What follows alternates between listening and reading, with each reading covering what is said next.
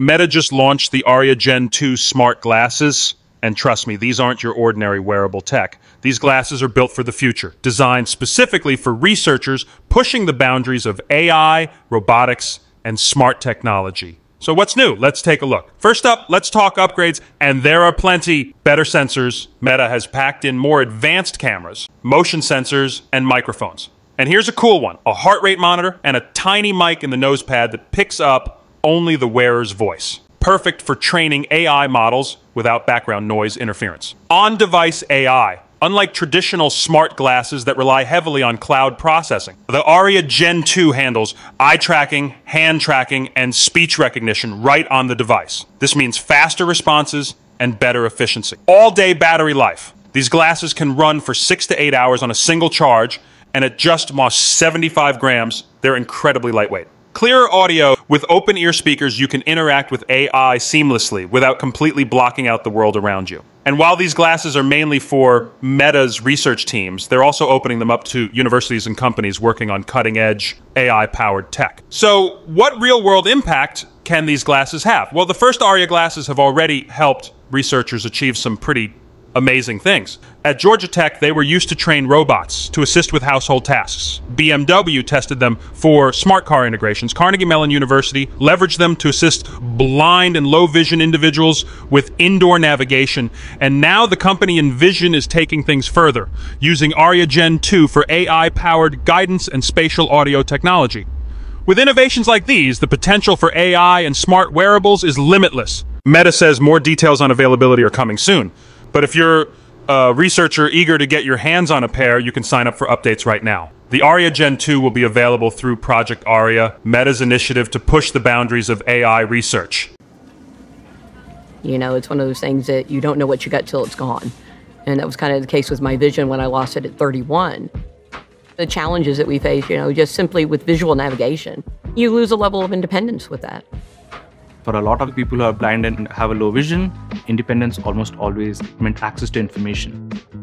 ARIA enables us to combine technologies like artificial intelligence and spatial audio that make the visual world accessible for people who are blind or have a low vision. It was amazing to see how a lot of our feedback was incorporated in building a Gen 2 device and also by keeping accessibility as one of the focus points this is a truly collaborative effort between Envision, Lighthouse San Francisco, and Meta. We really want to go out and co design with the community and try to learn from their experience. They actually want to try out these technologies, they're really excited. Sharon has been testing these features, giving us early feedbacks. GPS just doesn't work indoors. We need a different mapping and navigation technology. Usually, when you listen to sounds over headphones, they'll sound like they're inside your head. Spatial audio is a technology that lets you play sounds over headphones that seem like they're coming from a real location out in the world.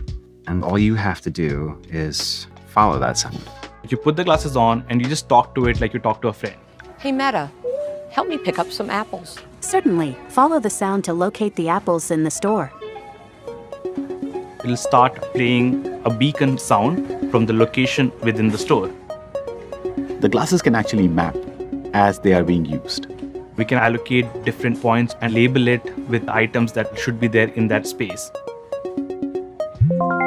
Apples are here. You can ask any kind of a question. What apples are here? They have Granny Smith, Cosmic Crisp, and Honey Crisp apples. I'll get Granny Smith apples. Help me pick up red onions. Taking you to red onions. Red onions are here. Is this a red onion? Yes, this is a red onion in your hand. Just to have the freedom to walk into a grocery store and navigate to what I wanted, it was efficient, it was fast, it was just amazing. That's all I need today. Take me to the checkout counter? Sure, guiding you to the checkout. This isn't ready to ship out the door this second. But what's exciting is for how many people this appears to be working really well without these partners, we would have not been able to do what we did today. Thank you. Have a great day. When we look at someone like Sharon, pick the groceries that she wants on her own, that emotion is incredible. And speaking of AI breakthroughs, Amazon is making moves too. They just partnered with Anthropic to bring AI powered Alexa Plus to millions of households in the US. With 600 million Alexa devices already in homes, this could be the first real experience with generative AI for, for a massive audience. But that's not all. Meta is also reportedly working on a standalone app for its AI assistant, Meta AI, to compete directly with OpenAI's ChatGPT and Google's Gemini. Right now, Meta AI is only available through platforms like Facebook and WhatsApp, but a dedicated app could be launching as early as April to June. And here's where things get interesting.